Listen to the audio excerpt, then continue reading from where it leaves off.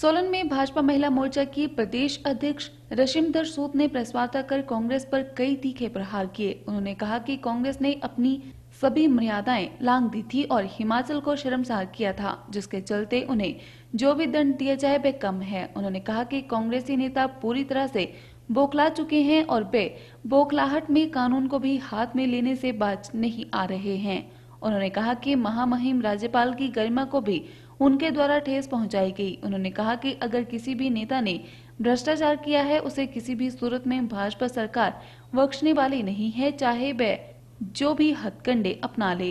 भाजपा महिला मोर्चा की प्रदेश अध्यक्ष रशिमधर सूद ने कांग्रेस को कटघरे में खड़े करते हुए कहा कि कांग्रेसी नेता जिन पर भ्रष्टाचार के आरोप लगे हैं और उनकी विजिलेंस जाँच होने वाली है, उनके ऊपर हुई सर्जिकल स्ट्राइक से वे पूरी तरह से घबरा गए हैं, जिसकी वजह से उनके पैरों के नीचे से ज़मीन खिसक रही है। यही वजह है कि वे अपना आपा खो बैठे और उन्होंने विधानसभा की सभी मर्यादाओं को तोड़ा और भाजपा नेताओं के साथ धक्का मुक्की की है। प्रदेश की जनता भी इस घटना से बेहद आहत हुई है। सभी चाहते हैं कि कांग्रेसी नेता जो भी इस घटना के जिम्मेदार हैं, उनके खिलाफ सख्त कार्रवाई अमल में लाई जाए।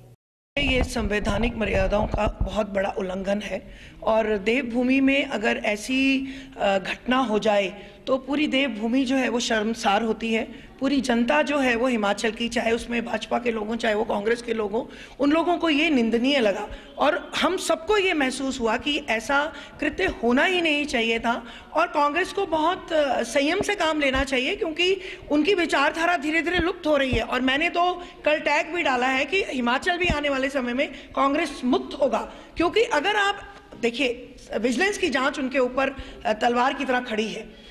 उसकी बौखलाहट उन्होंने राज्यपाल के अभिभाषण पे की। ये किसी व्यक्ति को, किसी आम नागरिक को जो है वो एक्सेप्टेबल नहीं होगा और होना भी नहीं चाहिए, क्योंकि एक संवैधानिक पद है, उसकी अपनी गरिमा है, उसका अपना मान है।